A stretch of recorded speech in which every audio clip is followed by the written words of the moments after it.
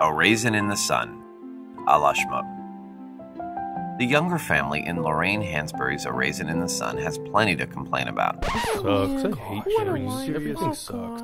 Hardworking mama is getting a huge insurance check. Awesome, right? Unfortunately, everybody wants a piece of it. Walter grabs the cash for himself and loses it all, Uh, yoink. ruining the family's dreams of an easier life. If you can stand more bad news, that money was Beneatha's best chance at paying for med school. No money, no med school. So, whose plump, juicy dream is most deserving of our Shriveled Raisin Award? Well, Beneatha's our first contender, and she's the obvious choice here. Her friend calls her Alaiyo, In this corner, Muhammad Ali. Yo. meaning one for whom bread is not enough. Beneatha's got a fiery, take no prisoners attitude, and she's out to change the world using her medicine and social justice.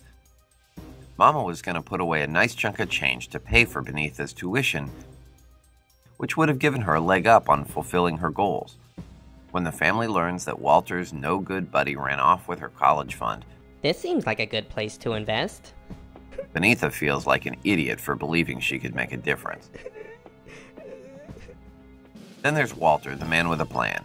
He's got a hot tip for a liquor store business that's going to break the Youngers out of poverty and let him quit his job as a chauffeur for a rich white man. How about this weather, huh? Yeah, weather. Most of all, Walter wants respect. But then Walter makes the not so smart decision to trust his money to a guy named Willie. And now his whole family is treating him like he's slime mold. Good luck with that respect thing there, Walt. You know that saying, if mama ain't happy, ain't nobody happy? Well, with Mama Younger, it's more the opposite. Her contentment depends on the well being of her loved ones. She supports Beneatha's career and believes that Walter is destined to become more than a white man's employee. She's such a cool mom, she even buys her peeps a house.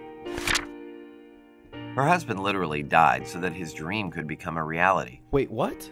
Oh no, you're thinking of um, Death of a Salesman. Yeah. Uh, great play. Um, real good American classic.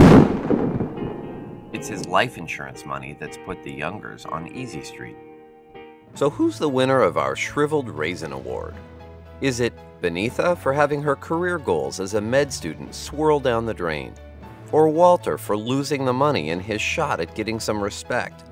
Or is Mama our winner for having to put up with the kids and the vanishing cash? Shmoop amongst yourselves. Uh, yoink.